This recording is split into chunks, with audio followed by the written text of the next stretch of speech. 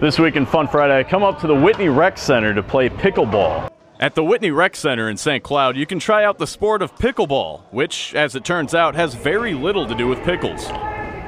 Well, pickleball is the most fun sport known to mankind. Um, it's a combination of uh, ping pong, badminton, and tennis. Tracy Thompson of the Northern Paddle Pickleball Club says she's seen the sport pick up in popularity recently. We had about 30 members when we formed it, and now we have over 130 and growing like crazy since we opened Calvary Hill Parks. I've just met so many people, people that love to play outdoors and they just show up and it's just, it's been fun. The courts have been full. Um, it's very easy to pick up, but as you get to a higher level, it's very competitive. It's like a chess match at a certain point. So you can just bang the ball around and have fun. But if you want to play at a higher level, it's like a chess match. And, and that's the, the thrill of it. It's, it's just so much fun at so many levels. Thompson got me started with the basics of the sport. Backhand. Not too bad. I'm getting the hang of it, I think.